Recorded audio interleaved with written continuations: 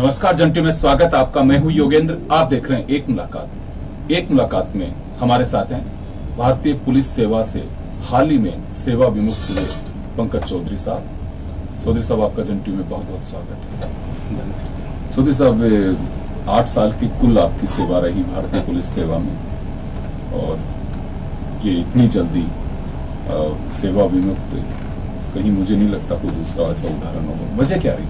अगर आज की में बात करें तो मामला ऑलरेडी कैट में विचाराधीन है।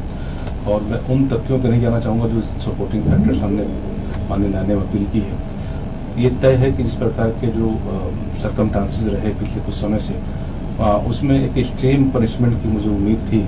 और जो जो पनिशमेंट हुआ कहीं ना कहीं वो तरफा हुआ है बच्ची हुआ है और उसमें कहीं ना कहीं साजिश है मैं पूरी पूरी उम्मीद है कि माननीय न्यायालय में कैट में जो हमने अपनी अपील की है उस अपील के माध्यम से मुझे रिलीफ मिलेगा और मुझे जो मेरिट्स है जिस मेरिट्स पे को दरकिनार करते हुए जिन डॉक्यूमेंट्स को जिन साक्ष्यों को दरकिनार करके एक रिपोर्ट स्टेट गवर्नमेंट ने सेंटर को भेज दी है और जिसपे निर्णय लिया गया ये निर्णय अपने आप में बहुत ही एक्सट्रीम निर्णय है और मुझे लगता है कि बहुत जल्दी जो है इसमें हमें रिलीफ मिलेगा और आपकी बात बिल्कुल सही है कि आ, तो इस तरह का एक, एक मात्र उदाहरण है पूरे देश में ये। और जनरली इस तरह की फैमिली डिस्प्यूट्स पे, वैसे डिस्प्यूट पे जो कि ऑलरेडी हाई कोर्ट में विचाराधीन हो तो उसमें डिपार्टमेंट जनरली इंटरफेयर नहीं करता है। तो ये ऐसा केस बन गया जिसमें कि Allahabad high court family dispute को सुन रहा था टू थाउज़ेंड फोर्टीन से। उनके बीच उनके बीच में ओवरलैप करते हुए डिपार्टमेंट ने इंक्वायरी कराई गई थी और उसमें एक ऐसे आईयू से जाँच कराया गया जो ना सिर्फ़ छः सात मुकदमे करप्शन के उनके ऊपर लगे हुए थे बल्कि वो छः साल लगातार सस्पेंड भी रहे। तो ये अपने आप में बहुत बड़ा एक कह सकते हैं कि जाँच का एक अपना जो है तरीका था, वो अपने आप में बहुत ही एक अच्छी हो रहा था। इसके लिए हमने स्टेट गवर्नमेंट को हमने अपना पत्राचार भी किया, अपनी बात भी रखी। साहब, अगर आप निष्पक्ष अगर जाँच कराना चाहते हैं तो किसी ऐसे प्रोफ़ाइल वाले अधिकारी से कराएँ, जिसकी की जिसकी की इमेज अच्छी हो। क्योंकि तो बिल्कुल तय है कि जो व्यक्ति छः साल सस्पेंड रहा हो सीनियर आई और जिसपे छः सात मुकदमे करप्शन के लगे हों उससे आप जाँच में न्याय को नहीं कर सकते तो ये वो बातें थी और जहाँ तक इलाहाबाद हाईकोर्ट में जो हमारा मैटर था वो ऑलरेडी डिसाइड हो चुका था। उसके बावजूद भी इस तरह का एक पक्षी कार्रवाई ये मतलब बहुत ही जाती है। पंकज जी देखिए उस दौर में जब सरकारी सेवा के लिए क्लर्क बनने के लिए भी हज़ारों लोग लाखों लोग लाइन में होते हैं और आईपीएस बनना अपने आप में एक बहुत ही एक टैलेंट की बात है और एक फख्र की बात भी है कि बिल्कुल आप बने। लेकिन आपको लगा नहीं कभी कि, क्योंकि ये बहुत ही बड़ा पनिशमेंट है गवर्नमेंट की तरफ़ से। उससे पहले कोई अवसर या आपको आभास नहीं हुआ कि चलिए कहीं कोई बात है तो मुझे उसे सॉर्ट आउट कर लेनी चाहिए? जैसा कि मैंने आपको बताया कि जिस प्रकार से आयु नियुक्त किएगा तो ये दशा बिल्कुल तय हो गई थी कि उनको पंकज चौधरी को पनिश करना है और जितनी जल्दी पनिश किया जा सकता उतना किया जाना है, ये मुझे जानकारी थी। और इसमें हमने जो लीगल हमने कह सकते हैं या हमारा जो पत्राचार है हम्म। संबंधित डिपार्टमेंट्स को हमने डीओपीटी को देने का प्रयास किया स्टेट को अन्य अधिकारियों को भी देने सम, समय रहते कोई प्रयास किया गया कि चलिए अगर कहीं कोई बात है कोई कंफ्यूजन है क्योंकि आपकी जो बातें सामने आ रही हैं सीनियर्स को लेकर के काफ़ी प्रॉब्लम रही आपकी सारी तथ्यों को मुझे लगता है शायद डिटेल में बात करना क्योंकि मामला ऑलरेडी हाँ, बिल्कुल बिल्कुल। तो मैं इतना कहूँगा कि इसमें प्रक्रियागत कई खामियाँ रखी गई हैं। कई फैक्ट्स को छुपाया गया है कई ऐसे एविडेंसेस को छुपाया गया है और बिना किसी अपराध के इस प्रकार का दंड दिया गया जो एक्सट्रीम दंड है जो। जिसमें कहीं भी किसी तरह की वायलेशन नहीं है जो हम ऑल इंडिया कंडक्ट रूल्स कहते हैं। उस कंडक्ट रूल्स में आप देखेंगे तो इस तरह का जो चार्ज लगाया गया वो चार्ज कहीं भी स्पेसिफिक कोई चार्ज नहीं है। तो मुझे पूरी उम्मीद है लीगल ग्राउंड्स को देखते हुए मुझे पहले भी उम्मीद थी अगर वो नहीं हमारी बात नहीं माने तो अब हमारे पास मौका है अपना पक्ष रखने का हम अपना पक्ष रख भी रहे और मैं पूरा कॉन्फिडेंट हूँ कि मुझे न्याय मिले। जी अक्सर ये चर्चा रही है कि पंकज चौधरी अक्सर सीनियर्स के और विभाग के खिलाफ बोला करते थे। वो अनुशासनहीनता की श्रेणी में आता है ऐसा कोई मामला रहा? हमारे हमारी जो व्यवस्था में जिस व्यवस्था को लेकर हम लोग लगातार चर्चा करते हैं सिस्टम का कवर लेते हैं। सिस्टम ऐसा है व्यवस्था ऐसी है। उसमें मेरा ये हमेशा मानना मानना रहा कि अगर पुलिस डिपार्टमेंट के अंदर पंकज चौधरी आई छोड़ के आई ले रहे हैं तो कहीं ना कहीं कुछ एक विचार मन में रहा है। कोई ना कोई एक आ, सोचने की आ, सोचने की त, का तरीका हमारा अलग रहा होगा क्योंकि मैं क्यों बनना चाहता हूँ आईपीएस आईएएस छोड़ के? और मैं बना भी तो उसके पीछे कारण ये था कि जिस प्रकार आम जनता चाहे वो उत्तर प्रदेश की हो राजस्थान की हो किसी भी स्टेट की हो पुलिस का जो रवैया है वो कहीं ना कहीं एक एक संदेह के लोग रूप में देखते हैं लोग थाना जाना नहीं चाहते हैं लोग उम्मीद नहीं करते विश्वास नहीं है। और जैसा राजस्थान का एक स्लोगन है आमजन में विश्वास अपराधियों में है। मैंने हमेशा पाया कि पुलिस में रहकर शायद मैं जनता के बीच जितना करीब जा सकता हूँ उनकी पीड़ाओं को समझ सकता हूँ। और जिस प्रकार से मैं उत्तर प्रदेश में रहते हुए पूरे बचपन में मैंने अपने आसपास अपराध को देखा जो और एक प्रेरणा हमेशा रही कि मुझे आ, कुछ ऐसी जगह जाना है जहाँ से कि मैं लोगों को तत्काल रिलीफ दे पाऊँ। तो मुझे लगता है कि ये प्रकृति है जिन्होंने मुझे पांचवी नौकरी में लाया और आज इस प्रकार का ये मुझे ये घटना घटित हुई है उससे मैं विचलित नहीं हूँ। ये मानता हूँ कि प्रकृति ने मुझे एक और मौका दे रही है इस प्रति कि आप और बड़े लेवल पे जाइए और जनता के बीच में जाने के लिए एक इशारा है और मैं जनता के बीच स्वतः ही नहीं जा रहा हूँ। मुझे लगता है कि जिस प्रकार से पिछले कुछ वर्षों से संयोग कह लीजिए, मैं पश्चिम राजस्थान में ज़्यादा फोकस करता रहा हूँ, चाहे वो एक पुलिस अधिकारी के रूप में जाता रहा हूँ, एक समाज सेवक के रूप में जाता रहा मैंने ये पाया कि कहीं ना कहीं महिलाओं, बच्चियों की जो स्थिति है पश्चिम राजस्थान में, वो बहुत ही अलार्मिंग है चाहे राजपूत फैमिली में अगर हम ये पाए कि बच्चियों की भूड़ हत्या के मामले के हैं हम जो है बच्चियों की शिक्षा की बात कर रहे हैं बाल विवाह की बात कर रहे हैं जो है युवाओं की नशाखोरी की बात कर रहे हैं जो है सीमा पार तस्करी की बात करें हम। तो मुझे लगता है संकेत तो नहीं दे रहे हैं कि आगामी लोकसभा चुनाव में आप एक नई सेवा के लिए तैयार होना जी जी जी बिल्कुल मैं उसी उसी बिंदु पर जाना चाह रहा हूँ और मैं उसी बिंदु पर आपसे मैं चर्चा भी कर रहा हूँ कि इन परिस्थितियों में एक ऐसी घटना जिसमें कि कहीं ना कहीं ये, ये अब ये जो मैटर है पंकज चौधरी का इंडिविजुअल केस नहीं रह गया जो हम्म। ऐसे ऐसे हज़ारों लाखों युवा जो है जो कहीं ना कहीं मैं मैं मैं आपको बताना चाहूँगा कि मैं पिछले दस वर्षों से युवाओं के बीच में जाता रहा हूँ। न सिर्फ़ राजस्थान अन्य प्रांतों में जाता हूँ। मैं युवाओं में ये देखा है कि हम जिस भारत का हम सपना देख रहे हैं जिससे विश्व गुरु का सपना देख रहे हैं जिस चालीस प्रतिशत हम युवाओं की बात करते हैं लेकिन जब युवाओं के बीच में जाता हूँ तो मैं ये पाता हूँ कि एक युवा कुछ परसेंटेज युवा तो वो ऊर्जावान है अपने लक्ष्य के प्रति जो केंद्रित है। लेकिन अधिकांश ऐसे युवा है जो कहीं ना कहीं भ्रमित है। सुसाइड करना उनके लिए बहुत ही आसान काम नज़र आता है। गलत ट्रैक पर जाना उनका बहुत आसान काम लगता है। तो पंकज चौधरी अगर इतने संघर्षों के बीच में क्योंकि पंकज चौधरी जिस परिवार से आते हैं जिस समुदाय से आते हैं उन्हें दूर दूर तक कोई आगे जाकर नहीं रहा है। बहुत चुनौतियों से इस पद को पाया है। ईश्वर की कृपा है कि हमने सेवा का मौका दिया हमने उसको पूरी योग्यता के साथ करने का प्रयास किया। संविधान के अनुरूप काम करने का प्रयास किया। युवाओं को जब देखता हूँ, जब भारत को देखता हूँ, जब विवेकानंद की जो हम बातों को देखते हैं, अपने महापुरुषों की बातों को देखते हैं, जिस भारत का हम सपना देख के चल रहे हैं तो मुझे लगता है कि अगर पंकज चौधरी अगर खुद तक सीमित हो जाए तो शायद उनकी लाइफ बहुत अच्छी रहे, किसी प्रकार को कोई विवाद न रहे। लेकिन अगर इन इन परिस्थितियों में व्यवस्थाओं में अगर कुछ सुधार की आवश्यकता है, आपने देखा होगा पुलिस सुधार की बात पिछले बीस वर्षों से काफ़ी तेज, तीव्र गति से चल रही है, क्योंकि हम ये पा रहे हैं कि अंग्रेज़ों के जमाने का जो हमारा एक्ट है, अंग्रेज़ों के जमाने की जो पुलिसिंग है, वो कहीं ना कहीं चेंज होनी चाहिए।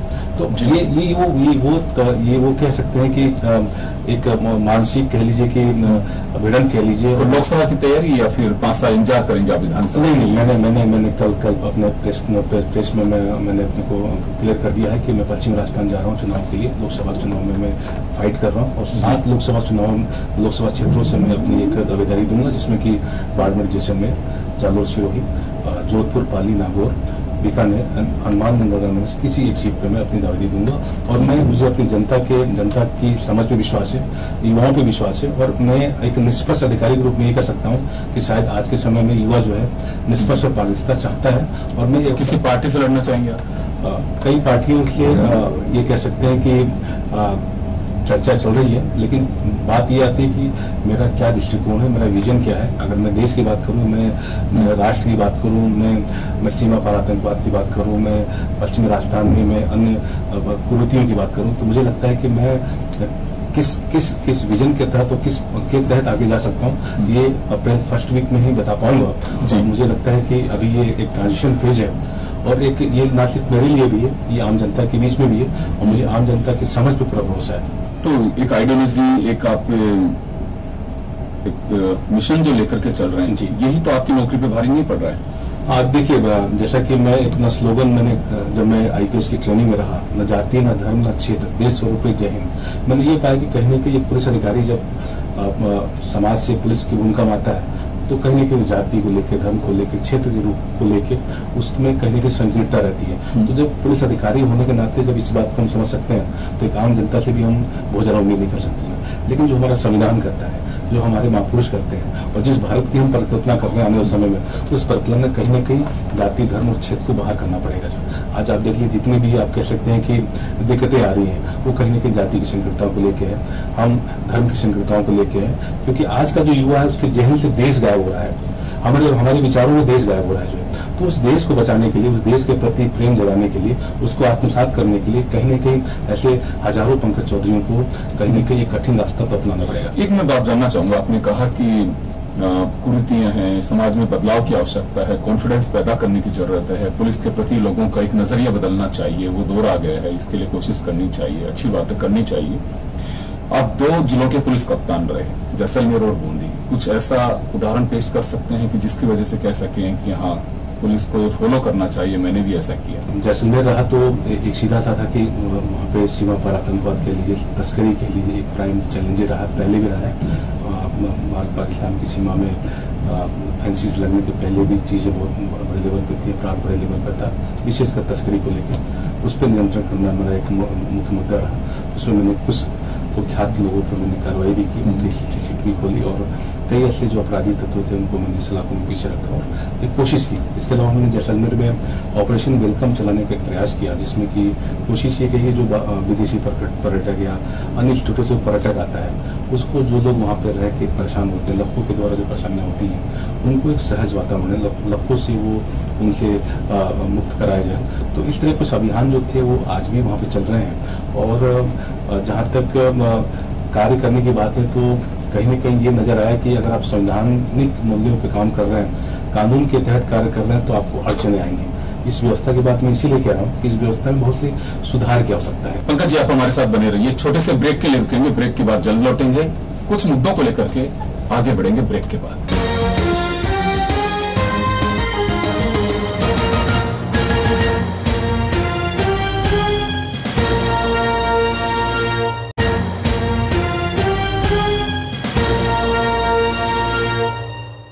ब्रेक के बाद एक बार फिर आपका स्वागत है। आप देख रहे हैं एक मुलाकात। एक मुलाकात में हमारे साथ हैं भारतीय पुलिस सेवा से हाल ही में सेवा विमुक्त हुए पंकज चौधरी साहब। पंकज जी, आपने कहा कि कुछ कुख्यात तस्करों को और इनको, बात सही है कि बॉर्डर पार तस्करी सीमावर्ती क्षेत्रों में हमेशा नज़रें भी रही हैं सुरक्षा एजेंसियों की और जाँच एजेंसियों की। मैं नाम नहीं कोट करना चाहूँगा यहाँ पे। एक कुख्यात तस्कर हिस्ट्री सीट भी आपने उनकी वापस खोल दी।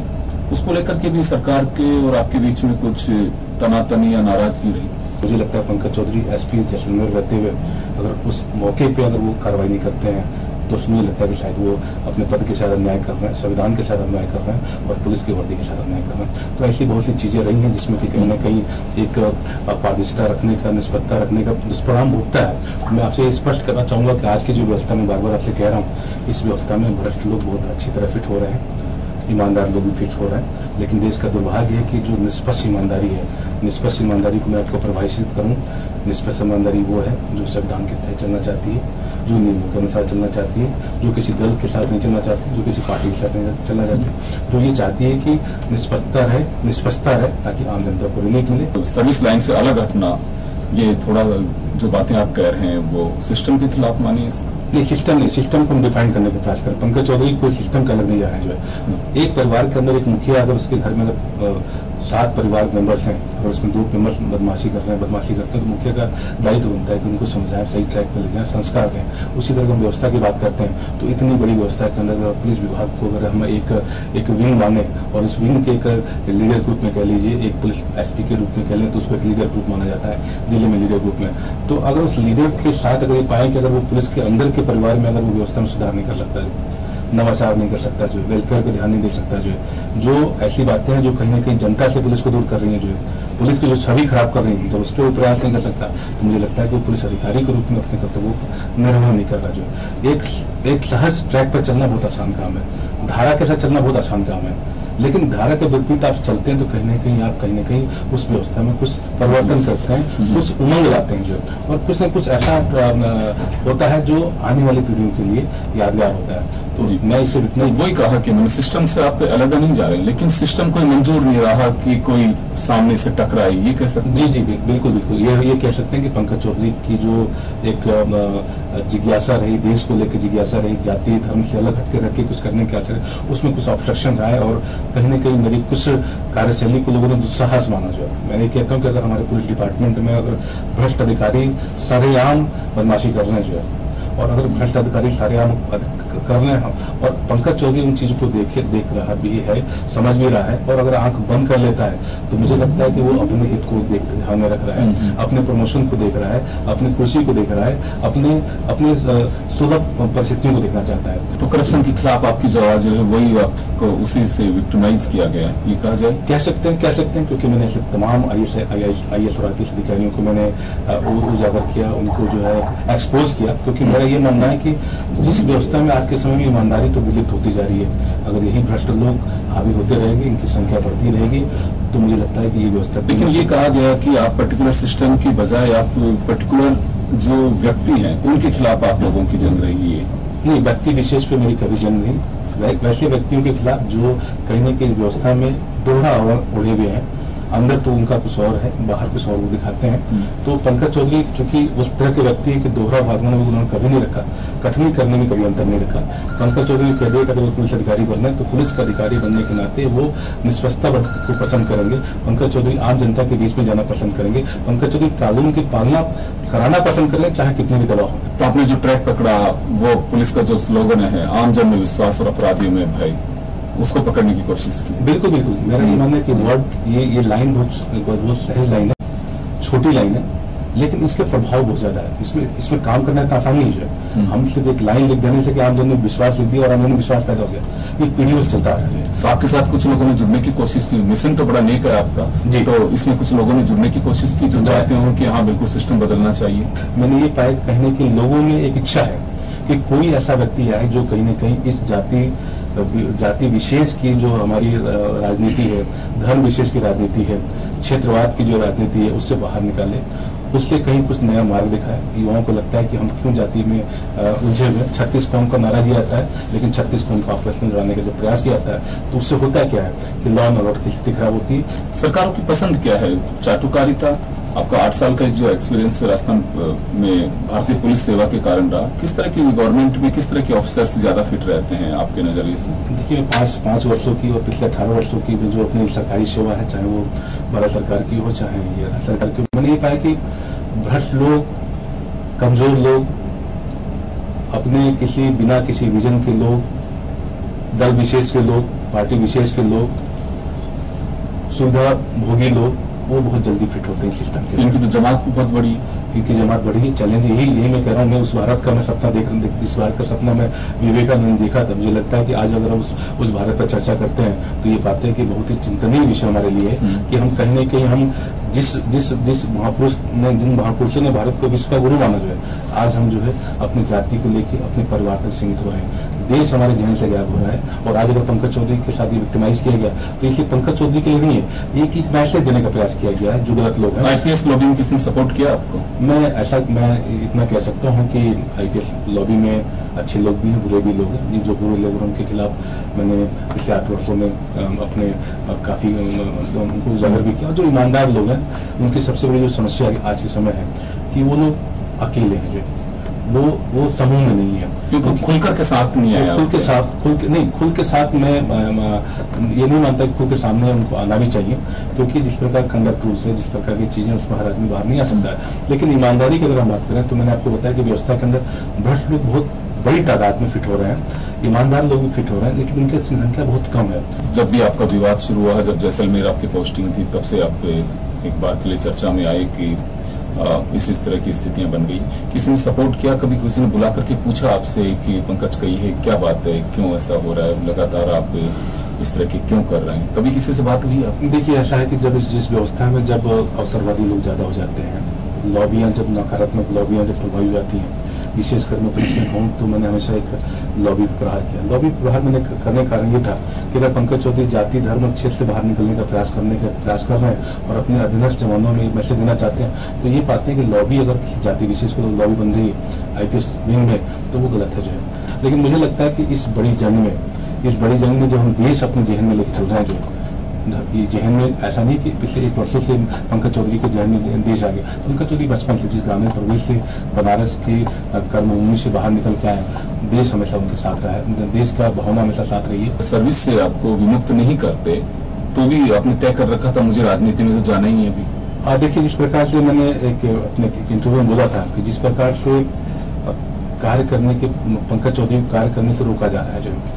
खुल के काम नहीं करने दिया जा रहा है। सिर्फ़ इसलिए कि पंकज चौधरी संवैधानिक मूल्यों को डटे रहते हैं। हम्म। पंकज चौधरी किसी की ये हडल तो सभी जगह अगर आज आप नेता भी बन जाते हैं तो वहाँ पे भी आपके ऊपर की नेता अगर राज्य में बनते हैं तो आपका मुख्यमंत्री आपके ऊपर होगा।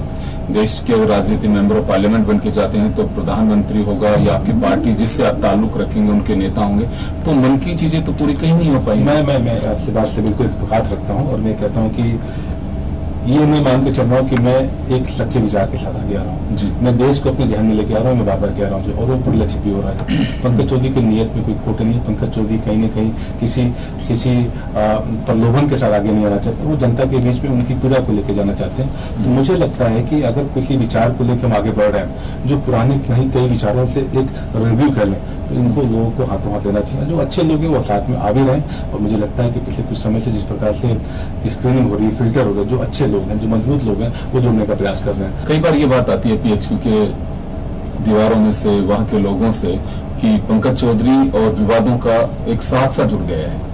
देखिए, वो वो लोग कहते होंगे, जिन, जिनको लगता है कि शायद वो जिस प्रकार की मेरी जो कार्यशैली है, उस कार्यशैली का शायद वो, उसको आज के समय में वो प्रासंगिक नहीं मानते। उनको लगता है कि पुलिस की नौकरी का मतलब होगा कि अगर आप पुलिस पुलिस अधिकारी बन गए तो शायद आपको आम जनता से कोई लेना देना नहीं आप उस पार्टी का हिस्सा बन जाइए, जिसमें कि आप अपना परिवार अच्छे से पाल सकें जिसमें आप संसाधनों का सदुपयोग कर, पाए जिसमें आप सुख सुविधाओं का उपयोग कर पाए। तो ये वो लोग हैं जो लोग कहीं ना कहीं अपने इस पद को लेकर जो है बहुत ही कह लीजिए कि आकांक्षित आकांक्षित आशंकित रहते हैं कि हमने अगर कोई भी चीज़ कुछ अलग हटके करने की कोशिश की तो उसका दुष्परिणाम भुगत सकते हैं जी कहा जाता है कि एक वाइफ के रहते दूसरी मैरिज आपने की और खुद जानते हुए भी एक आपने ये किया दूसरा पुलिस के ऑफिसर्स के खिलाफ लगातार बोलना सर्विस लाइन जो है उसको आप लोग आपने एक तरह से उसका उल्लंघन किया जो अनुशासनहीनता की श्रेणी में आता है। यही कारण रहे या और कुछ रहा? नहीं नहीं जैसे कि आपने मैरिज की बात की तो उसमें मैं आपको स्पष्ट कर दूँ कि मान लीजिए उच्च न्यायालय में ऑलरेडी हमारे पास में डिसीज़न हो चुका है। उस उस डॉक्यूमेंट्स को उस डिग्री के डॉक्यूमेंट्स को इस पुरानी स्टेट गवर्नमेंट ने उसको आगे परसू नहीं किया जी। फैक्ट को छुपाया है। और दो शादियाँ हमेशा ऑफेंस रही पहले भी रही आज भी आगे भी रहेंगी जो पंकज चौधरी कोई दूसरी शादी नहीं की है। ये पुलिस की जाँच में फरमाई है लेकिन उसके बावजूद भी इलाहाबाद हाईकोर्ट के निर्णयों को दरकिनार करते हुए, उनको सप्रेस करते हुए एक निर्णय कराएगा जो एक पक्षी है। तो मुझे लगता है कि माननीय न्यायालय में अपनी बात को मैं अपनी बात को रख रहा हूँ, उसमें अपने को निर्णय अपने पक्ष में आएगा। दूसरी चीज़ जो आपने भ्रष्टाचार के खिलाफ की तो भ्रष्टाचार के खिलाफ पंकज चौधरी सर्विस में रहते हुए करते आए और जैसा कि मैंने अपना एक जो ग्यारह पॉइंट का एजेंडा दिया है, इस लोकसभा चुनाव में जहाँ से मैं दावेदारी कर रहा हूँ, कि हर महीने एक राजस्थान के एक भ्रष्ट आई एस का एक उसको पूर्णतः दस्तावेजों के साथ साथियों के साथ उसको एक्सपोज किया जाएगा। क्योंकि पंकज चौधरी का ये मानना है कि अगर इस तालाब के अंदर ऐसे जो भ्रष्ट लोग हैं जिनकी संख्या बढ़ी उनको अगर रोका नहीं जाएगा तो शायद ये देश जो भारत जो है कहीं ना कहीं वो एक संक्रमित भाग के रूप में आने वाले समय में लेकिन हर राजनीतिक दल में करप्शन है फिर आप राजनीतिक दलों में फिट कैसे रहेंगे? अभी तो राजनीति के बारे में मैं कह सकता हूँ कि पंकज चौधरी राजनीति कोई नहीं है। तो खुद इंडिपेंडेंट भी लड़ सकते पंकज चौधरी एक राजनीतिक नहीं है पंकज चौधरी राजनीति को समझना चाहते हैं। मैं छोटा सा आपका चाहूँगा कि सर्विस कब से शुरू किया आपने कहाँ कहाँ किया आपने कहा कि पांचवी जॉब है मेरी ये देखिए जैसा कि मैं बीटेक मैंने बीटेक करने के बाद आ, मैं प्राइवेट जॉब में रहा दिल्ली दो प्राइवेट जॉब में रहा उसके बाद मेरी नौकरी उत्तर प्रदेश अधीनस्थ सेवा में लगी। मैं वहाँ रिटायर में चला उसके बाद फिर मेरी नौकरी जो है भारत सरकार वाणिज्य मंत्रालय में सन 2002 से लेकर 2009 तक में वहाँ रहा तो जैसे मैंने बताया कि कहीं ना कहीं मेरे दिमाग में जो है वो आईपीएस बनने का एक चस्का था या तो पांचवी नौकरी थी। मेरी पांचवी आईपीएस की थी और, और मैं उम्मीद करता हूँ कि आने वाले समय में जो है समाज के लिए मैं चीज़ों को थोड़ा फैमिली बैकग्राउंड भी जानना चाहेंगे हमारे दर्शक। कहाँ कहाँ से आए, अब कैसे आए वो सारा सब? जी जी जी। मैं बोलता मैं यूपी का रहने वाला हूँ और मेरा जन्म जो है बलिया में हुआ है और मैं, मेरी शिक्षा दीक्षा जो है वाराणसी में हुई। वाराणसी में काफ़ी समय रहा। मेरे फादर जो है सिंचाई विभाग में जूनियर इंजीनियर रहे। उनकी नौकरी उत्तर प्रदेश के तमाम जिलों में रही। तो एक तरह से मूवमेंट में रहा मैं हमेशा। उत्तर प्रदेश को बहुत करीब से देखा मैंने और इस प्रकार से इस नौकरी में जब मेरा rank two thousand nine two thousand nine में दो सौ निन्यानवे रैंक आई, मैंने आई एस छोटा आई लिया। तो मुझे जो है, अपनी चॉइस के हिसाब से मुझे जो है कैडल, राजस्थान कैडल अलॉट हुआ मैं दो हज़ार ग्यारह जनवरी में मैंने राजस्थान मैंने प्रवेश किया और पिछले आठ वर्षों में अगर आप देखें ट्रेनिंग को मिला के तो ट्रेनिंग कॉल में मैं कोटा रहा। उसके बाद मैंने बांसवाड़ा सीओ के रूप में रीजनल एसपी के रूप में मैंने कार्य किया और एसपी के रूप में मैंने जैसलमेर एसपी के रूप में मेरा कार्यकाल छह महीने का रहा है। उसके बाद मुझे प्रिंसिपल पीटीएस किशनगढ़ के रूप में मुझे छह महीने कार्य करने का मौका मिला और उसके बाद बूदी एसपी के रूप में लगभग साढ़े नौ महीने का मेरा कार्यकाल रहा और उसके अलावा दिल्ली में दिल्ली मेरी आर एस बटालियन में कमांडेंट के रूप में मैं लगभग एक वर्षों तक कार्य किया और राजस्थान में कहूँ तो जयपुर में एस के रूप में मैं एस पी के रूप में लगभग तीन वर्षों का मेरा कार्यकाल रहा। तो एक तरह से कहें तो मुझे कम समय में कई विंग्स की, पुलिस के विंग्स को देखने और समझने का मुझे मौका मिला है। और पारिवारिक पृष्ठभूमि में देखें तो माता पिता मेरे बुज़ुर्ग हैं और फादर मेरे रिटायर्ड अधिकारी हैं अपना जीवन यापन कर रहे हैं और मेरी तीन बहनें जिनकी ऑलरेडी मैरिड हो चुकी है, वो अपने विभिन्न राज्यों में अपने अपने जीवन को निर्वहन कर रहे हैं। और जहाँ तक मेरी बात है कि अब मैं अपने परिवार के साथ और इसलिए जो संघर्ष है, उस संघर्ष में अपने साथियों के साथ शिक्षकों के साथ, एक नई दिशा के साथ, एक नई विजन के साथ में आगे बढ़ने का प्रयास कर रहा हूँ। तो चलिए, समय का अभाव है। पंकज जी के साथ में काफ़ी चर्चा हुई। कई मुद्दों पर खुल करके भी बोले हैं, विवाद बोले हैं। कुछ ऐसे इश्यू हैं जो सब जुड़ी से हैं, उनसे थोड़ा उन पर खुल करके नहीं बोल पाए। तो चलिए, भ्रष्टाचार के खिलाफ एक मुहिम है और अगर आप उसमें सफल होते हैं तो बड़ी खुशी की बात होगी। फ़िलहाल एक मुलाकात में बस इतना ही। दीजिए इजाज़त, नमस्कार।